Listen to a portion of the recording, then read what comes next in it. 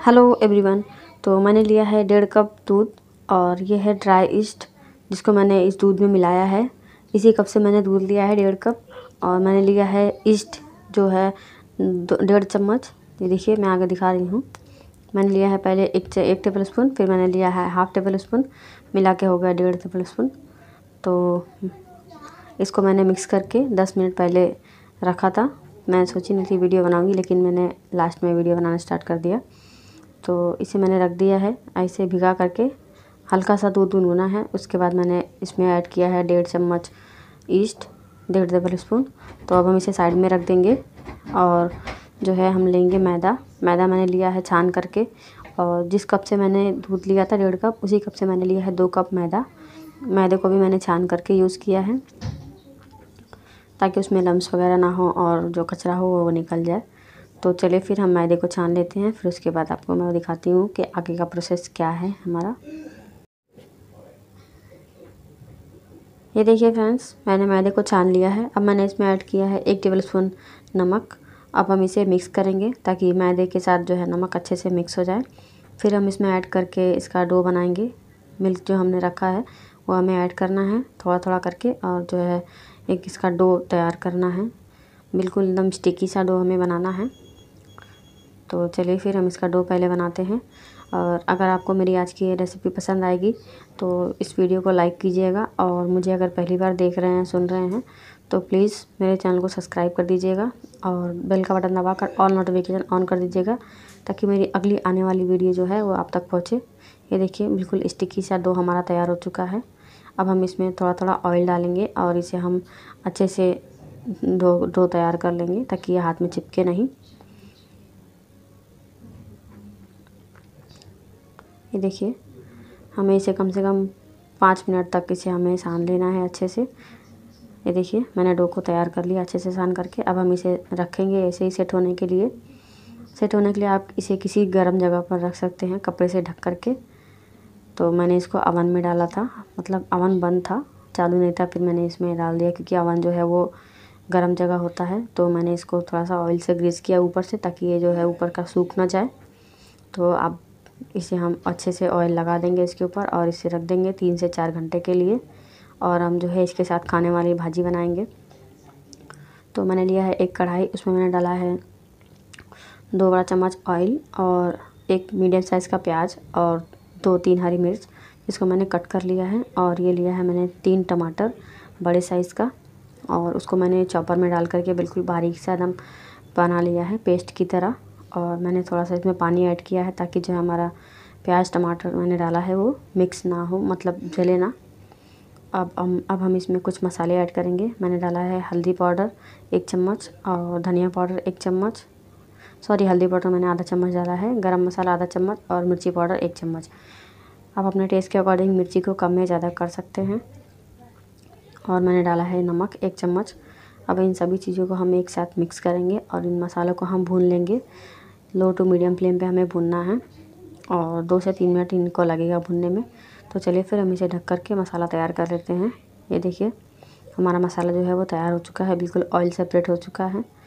तो जो टमाटर दिख रहा है खड़ा खड़ा उसको हम इसी स्पैचुला के साथ से, सहायता से इसको मैश कर लेंगे ताकि बिल्कुल मसाला हो जाए और मैंने इसमें डाला है सब्ज़ी, जो है बीन्स सौ ग्राम और सौ ग्राम मटर, दो सौ ग्राम गोभी जिसको मैंने छोटे छोटे टुकड़ों में कट किया हुआ है।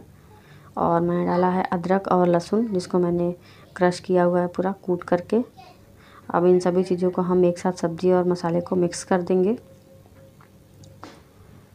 और हम इसमें ऐड करेंगे पानी। एक गिलास मैंने पानी ऐड किया है, हंड्रेड एम तो मुझे थोड़ा कम लगा तो मैंने आधा और डाला, यानी कि डेढ़ सौ एम पानी मैंने ऐड किया है। पानी हमें ज़्यादा नहीं रखना है, बस इतना ही रखना है कि हमारी सब्ज़ी जो है अच्छे से कुक हो जाए। और ये देखिए, तीन घंटे बाद हमारा डो जो है कितना अच्छे से फूल चुका है। ये था कितना कम और कितना ज़्यादा ये फूल के हो चुका है, डबल टिबल क्वांटिटी में हो चुका है। तो अब हम इसे एक बार फिर से एक साथ इकट्ठा करेंगे और रखेंगे अपने किचन प्लेटफॉर्म पे और उसमें लगाएँगे ऑयल और हम इसकी मसाज करेंगे बहुत ही अच्छी तरीके से। हाथों पर भी ऑयल लगा लेना है क्योंकि ये बहुत ही स्टेकी सा हो जाता है। तो हमें कुछ इस तरीके से इसको खींच खींच करके इसका डो जो है आटा इसका वापस से हमें लगाना है। आप किचन जो प्लेटफॉर्म है उस पर भी ऑयल लगा दीजिए ताकि वो उस पर चिपके ना और इसे अच्छी तरीके से खींच खींच करके इसका हम आटा तैयार कर लेंगे और लेंगे एक बेकिंग ट्रे इसको ऑयल से ग्रीस करेंगे।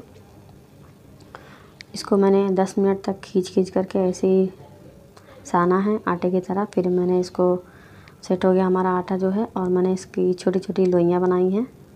और मैंने दिया है इसका राउंड शेप ये देखिए हल्का सा अंडे की शेप में मैंने इसको बनाया है और मैंने अपने ट्रे में लगा दिया है जो हमने ऑयल से ग्रीस किया था। अब हम इनको बेक करने के लिए चलेंगे।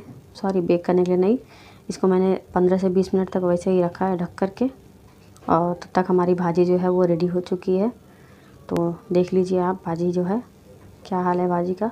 एक साथ हम डबल काम कर रहे हैं। हमारी भाजी जो है पूरी तरीके से गल चुकी है। अब हम आपको हाथ से दिखाएँगे। सॉरी, चम्मच से, यानी चेक करके दिखाए हैं तो गल चुका था। तो अब हम लेंगे एक मैशर, जिसको हम इसको दबा दबा के पूरा मैश कर देंगे। एक भी सब्ज़ी इसमें दिखनी नहीं चाहिए, बस इसे हमें कुछ इस तरीके से करना है। और आज की हमारी पाव भाजी की रेसिपी अगर आपको अच्छी लगे तो लाइक कीजिएगा पहले, और शेयर कीजिएगा अपने फ्रेंड्स के साथ, जिनको पाव भाजी बहुत पसंद हो। आप एक बार ट्राई कीजिएगा, आपको रेसिपी पसंद आएगी। तो मैंने लिया है हाफ़ के जी के करीब में आलू, जिसको मैंने बॉईल करके छील लिया था और मैंने डाल दिया है इन भाजी के साथ में और आलू को भी मैश कर लिया है। ये देखिए, सारी सब्जियों को मैंने मैश किया, आलू भी मैश कर दिया। फिर मैंने इसमें ऐड किया है पानी। पानी आप अपने हिसाब से ऐड कर लीजिएगा। मैंने पानी इसमें एक गिलास डाला। फिर मुझे पानी कम लग रहा था तो मैंने वापस से डाला आधा गिलास पानी। और फिर जो है हमारी भाजी रेडी हो जाएगी।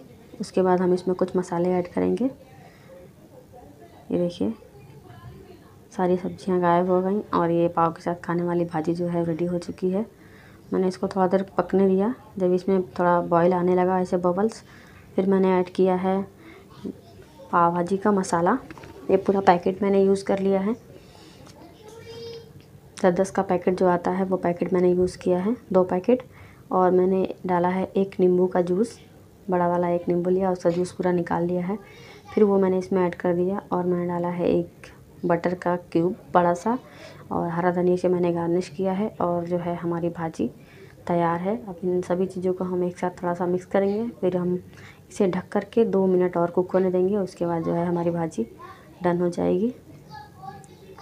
मैंने इसमें नमक थोड़ा सा टेस्ट किया तो मुझे कम लगा तो मैंने इसमें और थोड़ा सा नमक ऐड किया। आप टेस्ट करो, उसके बाद फिर आपको जो कम या ज़्यादा लगे वो आप अपने हिसाब से ऐड कर लेना। तो हमारी भाजी जो है वो रेडी हो चुकी है। अब हम चलते हैं अपनी पाव को बेक करने के लिए। तो चलिए फिर। पूरे 20 मिनट के बाद देखिए, हमारे पाव का साइज़ जो है वो डबल हो चुका है। तो अब हम लगाएँगे इसके ऊपर थोड़ा सा मिल्क और ताकि इसका कलर बहुत अच्छा आ जाए। तो हम मिल्क लगाने के बाद इसको डालेंगे अवन में बेक होने के लिए। तो मैंने इसको बेक किया है पंद्रह से बीस मिनट और उसके बाद फिर हमारा जो है पाव बन के तैयार हो चुका है। ये देखिए, आप देख सकते हो कितना अच्छा पाव हमारा बन के तैयार हुआ है। कितना अच्छा इस पर कलर भी आ चुका है।